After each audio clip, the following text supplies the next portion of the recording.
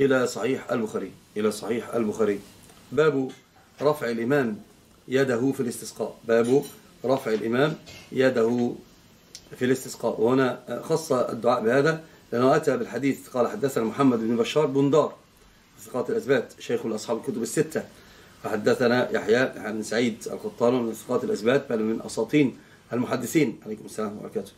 وابن أبي عدي مقرورا به عن سعيد. سعيد هنا وسعيد بن أبي عروبة. وسعيد بن أبي عروبة هو أوثق الناس في قتادة. سعيد بن أبي عروبة هو أوثق الناس في قتادة. عن سعيد سعيد بن أبي عروبة من ثقات وإن تغير لكنه أوثق الناس في قتادة. عن قتادة وقتادة من نوادر حفاظ الدنيا من نوادر حفاظ الدنيا. فخر لأهل الإسلام. عن أنس بن مالك وأنس بن مالك من السبع المكثرين عن النبي الأمين. أنس بن مالك من السبع المكثرين عن النبي الأمين. قال كان النبي صلى الله عليه وسلم لا يرفع يديه في شيء من دعائه. إلا في الاستسقاء وإنه يرفع حتى يرى بياض إبطيه. يعني شوف هو كأن أنس هنا الآن نفى أن يرفع يديه إلا في الاستسقاء والحق أنه لا يرفع يديه مادا يديه هكذا إلى الأعالي حتى يظهر بياض إبطيه. قال في شيء من دعائه إلا في الاستسقاء فإنه يرفع حتى يرى بياض إبطيه. فشوف هنا قال باب رفع الإمام يده. الباب الذي قبله كان رفع رفع رفع المأمومين. أيديهم مع مع الإمام مع الإمام. فهذا حديث أنس رضي الله رضي الله عنه وأرضاه وهذا الحديث أخرجه مسلم أيضا. وأول على أن المراد رفع الرفع البليغ. يبقى معنى ذلك أنه هنا النفي النفي على الرفع البليغ. أنه ما كان يرفع بهذه الهيئة إلا في الاستسقاء. لأنه يستجدي لأنه يستسقي لأنه يطلب من الله جل في علاه فيطمع من كرم الله جل في علاه فيبين الفقر والفاقة والحاجة والاستكانة فيرفع يديه إلى الأعالي حتى يرى بياض إبطيه يستجلب الخير من السماء والله تعالى يجيب يجيب له.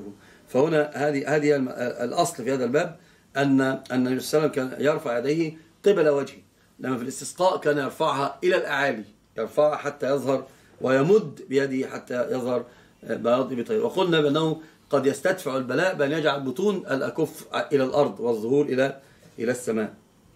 و وألحق ابن القاسم في الدوان مواضع الدعاء منها الصفا والمروة وأن الجمرتين وبعرفات والمشاعر الحرام رفعا خفيفا أن يرفع خفيفا. والحق أنه يرفع في كل دعاء يجعل باطن الكف إلى وجهه وهو يدعو لكن عندما يستسقي يرفع إلى الأعالي يرفع إلى الأعالي يرفع لبيان الاستكانة.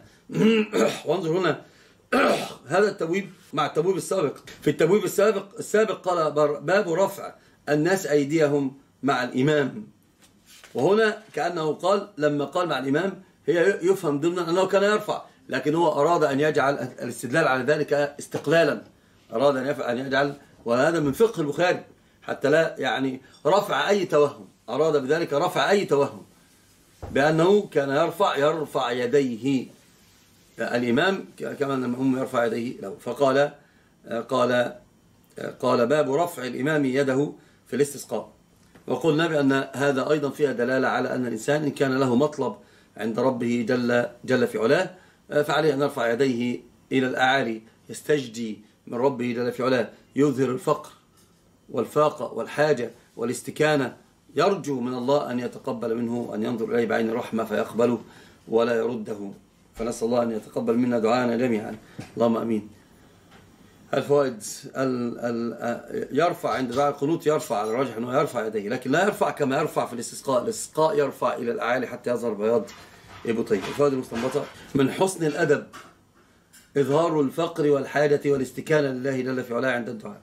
من أسباب استجابة الدعاء المبالغة في إظهار الخضوع والتضرع لله جل في علاه. المبالغة في إظهار الخضوع والتضرع والحاجة لله جل في علاه.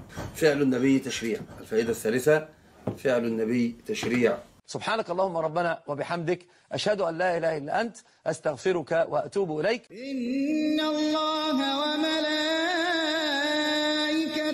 يصلون على النبي.